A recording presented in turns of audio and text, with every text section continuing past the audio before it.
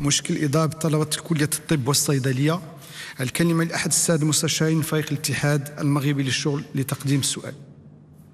السيد الرئيس السيد الوزير ما يجب أن تفهمه الحكومة من احتجاجات طلبة كلية الطب والصيدلة وطب الأسنان هو أن سياسة الحكومة فاشلة وأن التمادي في تمريرها لن يزيد الوضع إلا تأزما واحتقانا. الواقع يفرض على الحكومة مراجعة سياستها الانفرادية المخيبة لانتظارات وآمال الشعب المغربي بناته وأبنائه.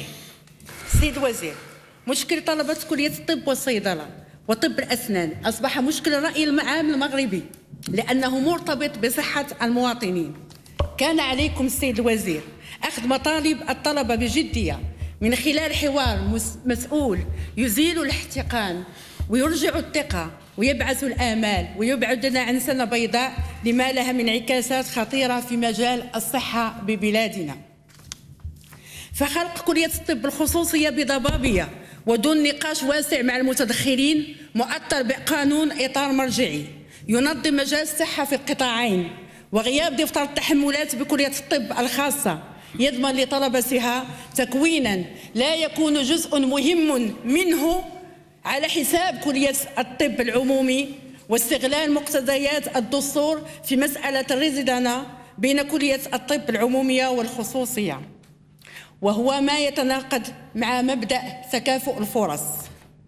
ويصبح الهدف هو تشجيع تعليم الطب الخصوصي والقضاء بالتدريج على تعليم الطب العمومي وهو ما ليس في متناول شريحة هامة من بنات وأبناء شعبنا.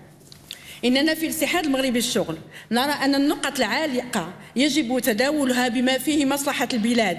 وبشكل موضوعي يجمع بين إرادة الحكومة في توفير تعليم طبي عمومي بجودة عالية ويخضع لمعايير دولية ورغبة مواطنة لأطبائنا عن الاستثمار في مجال الصحة بمنطق ججع لوبيات همها الوحيد هو الربح والمتاجرة. في صحة المواطنين وخصوصا الطبقة المعوزة والفقيرة. مع الأسف سيد الوزير الحكومة ماضية في تأزيم وضع المنظومة الصحية ببلادنا ففي الوقت الذي تقر بنقص الموارد البشرية الطبية تواجه مطالب طلبة الطب والصيدلة والطب الأسنان بتعنتها وتنكرها لما تم عليه الاتفاق.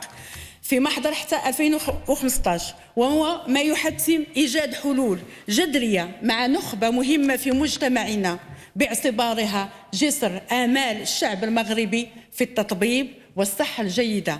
حلول تؤسس لانطلاقة شاملة للمنظومة الصحية بعيدة عن النعارات السياسية والتحايل وربح الوقت وإيقاف أساتذة متعاق... أساتذة جامعيون بكلية الطب. وهي إجراءات تعمق الأزمة وتفرمل الإقلاع التنموي المنشود. شكرا, شكرا. الكلمة للسيد الوزير للإجابة على السؤال. شكرا سيد المستشارة. أنا آه، أحترم آه، رأيكم وموقفكم إلا أنه في هذا الملف الحيوي بالنسبة لبلادنا ديال الصحة العمومية ديال المواطن ديال بلادنا وديال المواطن آه، أتمنى أن يكون هناك واحد التوافق واحد الإجماع. حول هذه المسألة. يعني الحكومة عبرت على الإرادة ديالها ومتبعة هذا الملف والقطاعين المعنيين عبروا على الإرادة ديالهم. ولا بغيتي نتكلمك على قطاع الصحة اليوم ونقول لك في تجاوبنا مع المطالب ديال هاد الطلبة في الطب وفي الم... وفي الحاجيات ديال ديال المنظومة الصحية رفعنا من العدد ديال المناصب ديال الإقامة لأن هذه الإقامة هي اللي عليها الهضره إقامة في الوقت اللي خصكم تدافعوا على تكافؤ الفرص بين المغاربة وبين الأطباء المغاربة. هناك مبادئ ما يمكنش نتنازلوا عليها. كل طبيب مغربي كل طبيب وطبيبة مغربية حامل لدبلوم معترف به له الحق في أن يجتاز مباراة إقامة اللي هي مباراة للأطباء وليس للطلبة وهي مباراة للتخصص. انظري أن طبيب يمكنه أن يعني يمر بعشر سنوات في القطاع الخاص وفي عيادة خاصة وأن يقرر يوما أن يدخل لهذه المباراة فنقول له مرحبا بك. انظر كيف هذه المسألة هذه. 700 منصب في 2019 ديال التعاقد مع هاد المقيمين في وقت اللي هذه عامين 197 المناصب ديال الداخلية اللي كيولجوا مباشرة لهذه الإقامة هذه من بعد ما كينجحوا.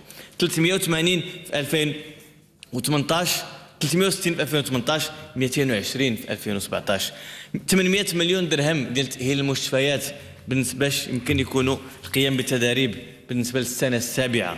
وضع رهن الإشارة طلبة طب الأسنان. أعطيناهم مراكز جداد جامع يعني بالمستوى الجامعي في الرباط وفي الرباط بالضبط. تأهيل المستشفى الجاود أكادير وإنزقال لاستقبال الطلبة وكانت أول مهمة قمت بها لما تحملت المسؤولية.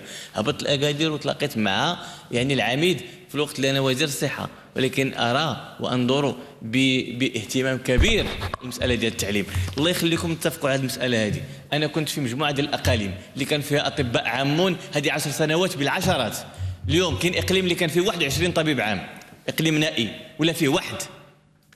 فسروا لي اليوم فسروا لي اليوم أشنو كاين اليوم؟ علاش ما لقيناش شي طريقة كيفاش نكونوا ونخدموا المنظومة الصحية؟ حنا خصنا منظور شمولي لما يضمنوا حق الطالب وحق الطبيب اللي ما كيتخرج ولكن حق المواطن كذلك. حق المواطن كذلك ولذلك لازم نفكروا اليوم في هذا التفكير اللي هو اليوم أساسي لأن اليوم ماشي مسألة امتحان. إن شاء الله غنتغلبوا على هذه المسألة هذه ولكن ما غنتجاوزوش التفكير الشاسع والشامل كيف يمكن أن نذهب بمنظمتنا الصحية للأمام ب يعني أخذا بعين الاعتبار التكوين الطبي تثمين الطبيب العام ولكن الخدمة العمومية خدمة هذه البلاد اللي عطاتك سنوات يعني باش تقرأ فيها وباش تعمل دراسات طبية باش تمشي تداوي المغاربة في جميع المناطق.